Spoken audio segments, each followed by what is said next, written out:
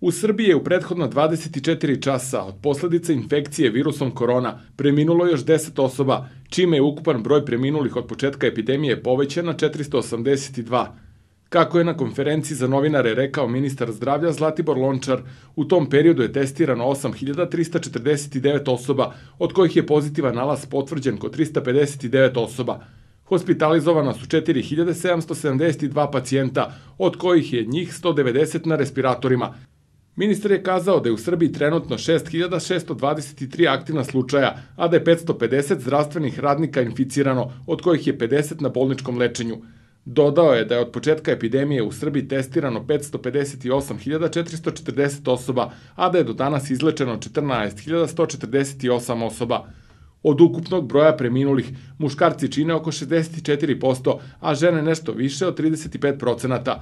Kada je reč o starostnim grupama preminulih u uzrastu od 20 do 29 godina, njih je bilo 0,72 odsto, u uzrastu od 40 do 48 godina 8,6 odsto, u uzrastu od 60 do 69 godina 28,67 odsto, u uzrastu od 70 do 79 godina 27,96 odsto, a među starijima od 80 godina ima 18,64 odsto preminulih prenosi beta.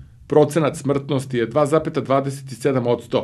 Kako je istakao dr. Goran Stevanović, prvi čovek infektivne klinike u Beogradu, skoro trećina pregledanih pacijenata poslednjih dana zahteva hospitalizaciju.